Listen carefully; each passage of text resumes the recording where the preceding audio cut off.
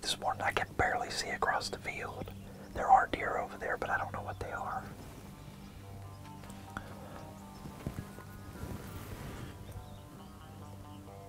There's a little buck there.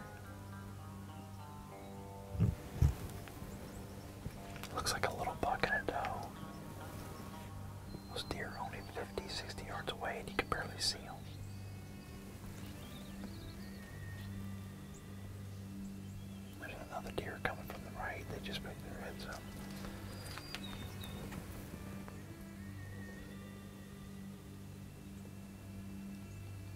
That's a shooter.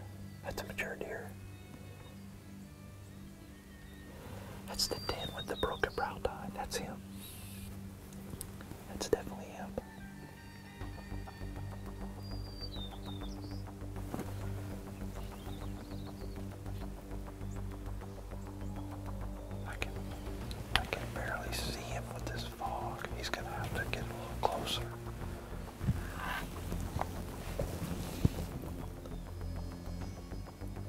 I can see him good with my eyes, but when I come down on these iron sights, he kind of just goes away in this fog. I can't.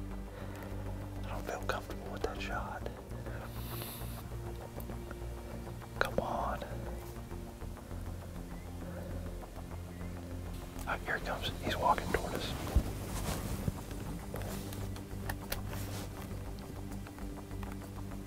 He's just got to turn. There we go.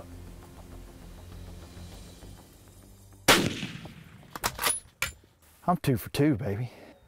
That's the buck I've been hunting for five days. I got him with my Savage Alaskan Hunter.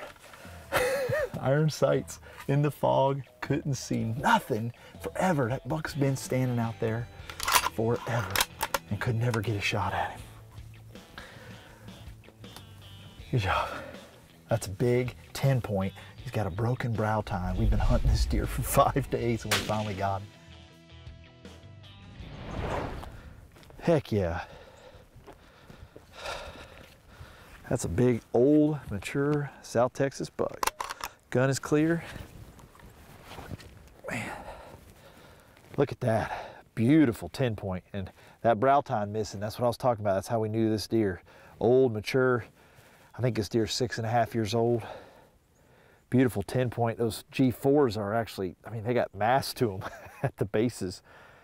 This deer's got good mass, good tine length. I mean, look at those G3s on both sides. I mean, just big deer. I'm pumped. We hunted this deer pretty hard. We've uh, set up in here five days trying to see him. Haven't even seen him. Got lots of trail cam pictures. We know he's here. He finally showed up this foggy morning, I think is what did it. Those deer just felt comfortable, wanted to move and stay on their feet late because we killed this deer at 8.30. Big bucks here in South Texas, SOE Hunts. Give us a call if you want a good hunt in Texas. Come hunt with us because we got bucks like this everywhere and it's a lot of fun. I love hunting in December in Texas, just tons of fun.